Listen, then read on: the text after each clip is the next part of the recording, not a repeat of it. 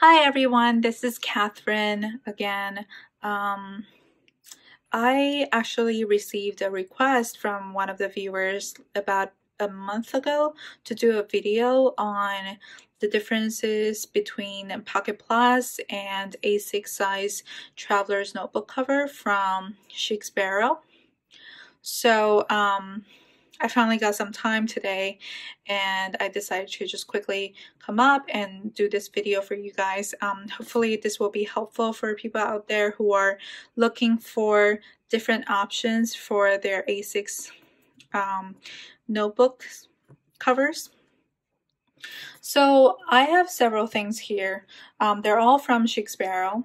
I really am I'm really happy with their quality and you know the I I did at one point have both Foxy Fix and Sparrow, but I really did like how um, the Sparrow's leather feels um, and how everything is in stock already. So they ship out really quickly. I don't have to wait a month or even more than a month sometimes um, for the covers to arrive but at the same time, I did like how um, from Foxy Fix I could customize it to exactly how I wanted it. But um, ultimately, I decided that Chic Sparrow is more of uh, it suits my taste better.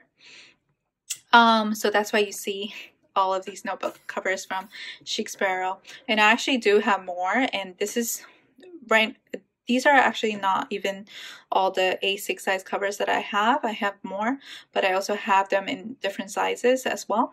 But today I just wanted to do a comparison of all the different options that Chic has for the A6 notebook.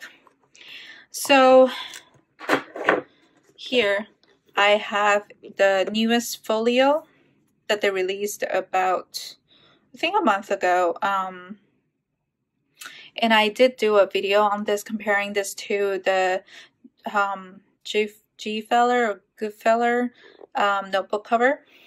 Um, so I have this this one. This one is from Sparrow for A6, and the leather is um, the Mockingbird leather, and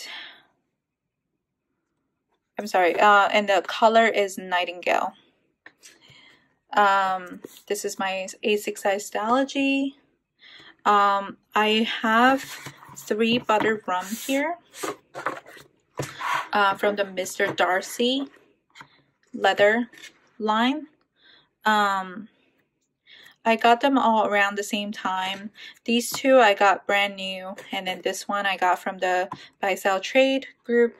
Um, this was my first Darcy, and I really liked it, so I went ahead and purchased these two.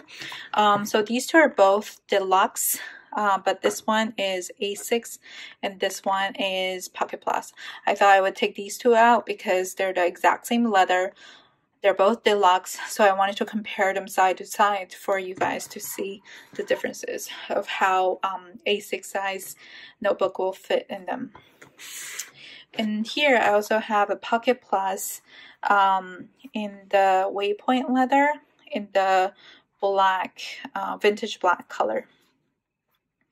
Um, this is Pocket Plus. And here I have the creme brulee um, leather. And this is A6. This is actually my first Sparrow. And I kind of have a love-hate relationship with this cover. Um, when I first received it, um, just uh, on a side note, I, when I first received it, um, I was really disappointed by how it looked because it was much more wrinkly than I had anticipated and um, it was also really matte. So it was just this interesting texture and color. Um, but now that I've had it for about three months I really really am starting to like this and creme is still one of my favorite color uh, one of my favorite leathers from Chic Sparrow and I do have more notebook covers um, that are in this um, leather. So um, first I bought this cover because I thought, okay, I have A6 notebook So I should buy the A6 notebook cover. And I, so at first I didn't have these um, inserts in here. I only wanted to use the um, A6 Stalogy um, notebook in this or um, the equivalent. So for example, Nanami A6 um, notebook or any other uh, notebook that's in that size. And um, I just, there, uh, there's nothing, I mean, I don't have anything against Traveler's Notebook, like where you slide in these thin inserts, but I just don't really like writing in thin notebooks. I really like the idea of having chunky notebooks that I fill out. Um, and it just gives me a sense of accomplishment after I finish using them. So that's why. Um, so when I first bought this, I you know, obviously if I have one notebook in here, this is way too chunky. You can see that there's a lot of room left here. I can fit my finger inside here. And I felt like the notebook actually doesn't really slide around if I just slide it into the back pocket. So the best way to use this, if you have, if you decide to go with an A6 size cover, is to slide in one notebook on the back like this and one notebook in the front like this. And um, so that fits really well. Um, you can see that everything is fitting really nicely. You still have a little bit of room in the back, um, but it's not that bad. Um, so it's pretty perfect. So if you're if you like that look, you should get the A6 size. Um, and also this is good if you don't want to slide in um, the notebook through the straps in the back and because you can just slide it into the pockets.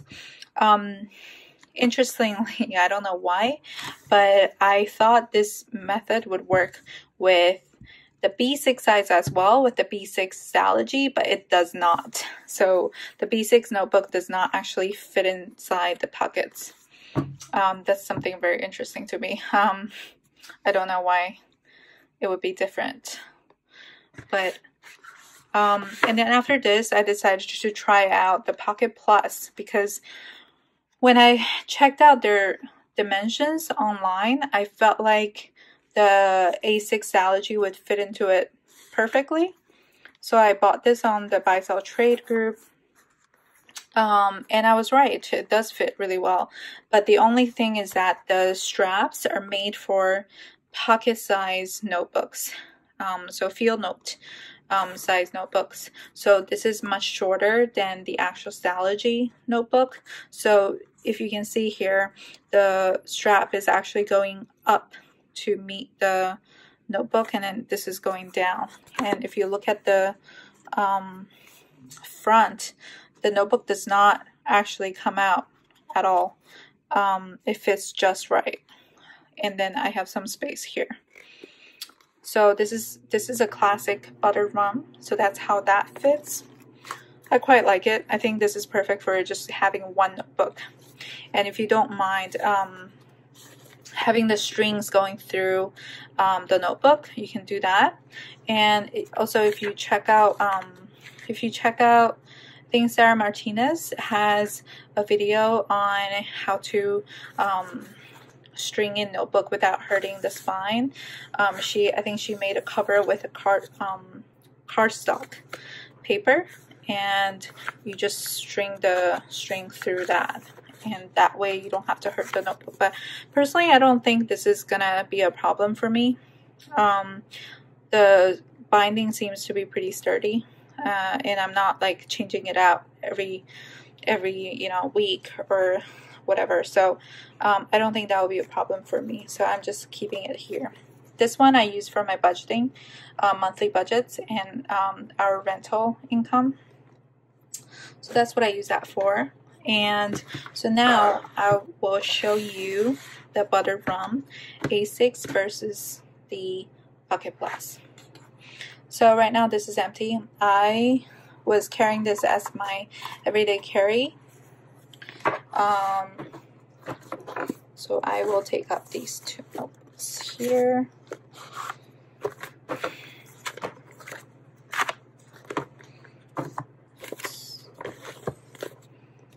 So the front one, I will slide into the front.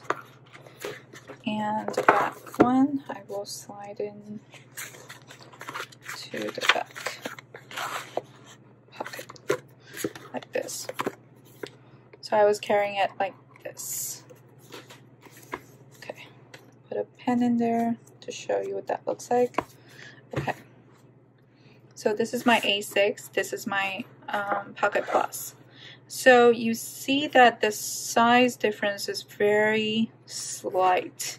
So if I put the Pocket Plus flush, you can see that the A6 is just slightly taller. And on the side, you can see that it has about maybe a quarter inch, a quarter inch wider. But if you look at how the notebooks fit, I have two A6 Stalogy notebooks here, and I have two A6 Stalogy notebooks here. Um, you can see that there is a bit of a space in the back. Um, it fits much, I wouldn't say better, but it just seems like this notebook is made for um, the A6 size if you do choose to use two of them together. But if you like the look of that flush um, notebook to the leather cover um, look, then I would recommend the Pocket Plus because see how beautifully it fits. It's very snug. Um, but the only problem is that obviously you cannot slide this notebook into this pocket here. You have to use the strings in the back. Um, and if that's not a problem for you and you don't mind doing that, um, then I would recommend getting the Pocket Plus for your A6. Um, but on the other hand, if you only need one notebook per cover, then I would highly recommend getting their A6 folio because it's just so thin. I mean, this letter that I have is uh, is the thinnest letter that um, Sparrow offers. I'm actually not sure if the um, black waypoint is thinner or actually the Mockingbird is thinner than the Waypoint even. So this is really light. Um, and I really like how my notebook fits in there and it is made for putting a notebook inside. Um, the only thing is that there's no string, but you can obviously just punch a hole here and then uh, buy their string and then create a string yourself. So that's always an option for you. This is actually my favorite cover right now because I just love this color. Um, I would never buy um, this um, in anything other than a folio because I just don't like how the inside of the letter looks and since this one is all covered up with the out um, exterior side of the leather. I'm okay with this. Um, but the reason why I have so many traveler notebook cover instead of folio is because I really did not like their previous folio design with the double stitching and the contrast stitching. And they also had this weird um, leather that's different from the outside leather inside and I just really did not like that um, that's why I purchased so many traveler size uh, traveler's notebook covers um, so I hope that was helpful. Um, I personally prefer, I, I don't actually mind either the Pocket Plus or the A6. I, I mean, they're both fine to me. It's just sometimes I feel like the A6 cover might get a little bit bulky. Um, especially nowadays, I'm very pregnant and I only carry a small purse with me that's a crossbody bag and so whatever that's smaller um, I would prefer. So that's why for now I think this is better. But I mean the A6 size is not that much bigger. So um, I mean it's really up to you. It just depends on how you like your notebook to fit inside your cover.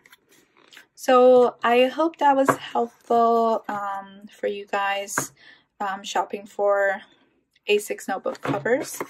Um, I think I will do a video next on the fountain pens that I um, I have. Um, I purchased quite a few fountain pens recently and I definitely have some opinions on them and I hope that could be helpful for people out there who are looking for their first fountain pen or a second or you know or just looking for something fun to um, um to add to their you know notebook collection okay thank you for watching. We'll see you next time